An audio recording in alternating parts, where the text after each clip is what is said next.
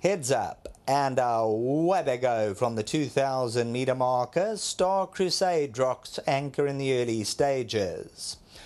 On the right hand side, Lord Minver, first one to react. National flag, Velvet Season gets onto the paint. King's Cove and Querari's Cowboy, Command Council, a line of three. Manhattan Cafe, second to last, and Star Crusade is your trailer, but only five and a half lengths top to tail.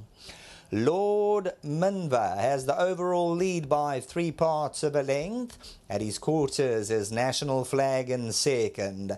Velvet Season secures the rails run. Command Council one out and back. A length and a half Querari's Cowboy and King's Cove team up together. They're racing in pairs. Manhattan Cafe, white sleeves and cap, second from the back. And that leaves Star Crusade with the yellow and black silks the trailer. Lord Minver towards the centre of the course just goes off the inside rail for a couple of strides A national flag looks to get behind him.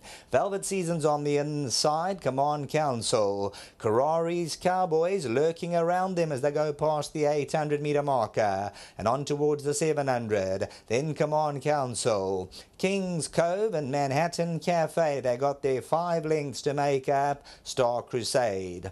Lord Minver given his marching orders at the top of the lane, greeting the judge and crowd with 400 to go. Querari's Cowboy, red sleeves and cap, the first one to apply pressure. Towards the inside, national flag. Querari's Cowboy, look at Manhattan Cafe, white sleeves and cap on the outside. Star Crusade's running on. Querari's Cowboy, but here's Manhattan Cafe. Coming home strongly on the outside. Querari's Cowboy by a neck. Manhattan Cafe's now putting it to him.